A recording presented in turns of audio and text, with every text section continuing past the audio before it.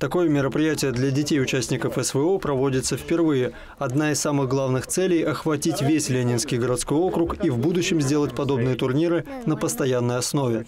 локальный э, турнир э, для детей участников СВО и их друзей.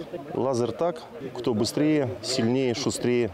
Около 30 детей приняли участие в игре. Ребят разделили на команды. Их главная задача – захватить базу противника, используя лазерный автомат. Я могу очень хорошо прятаться, быстро бегать.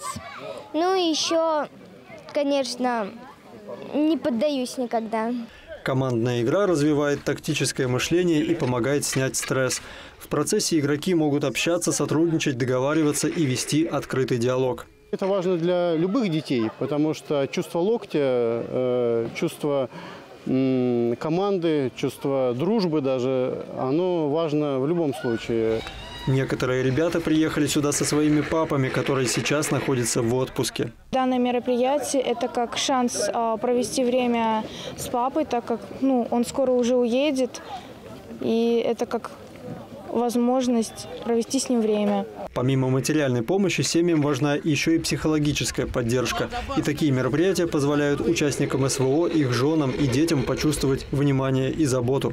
Мероприятия такие прекрасные, потому что де- дети куда-нибудь вышли, и маме полегче в данном вопросе. Мы были бы рады, а, чтобы они пришли на вот эти наши мероприятия.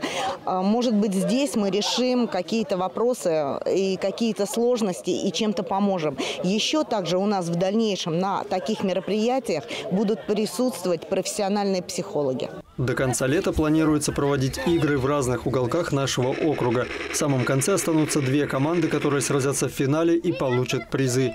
Дмитрий Книга, Алексей Стафуров, Ольга Садовская, Видное ТВ.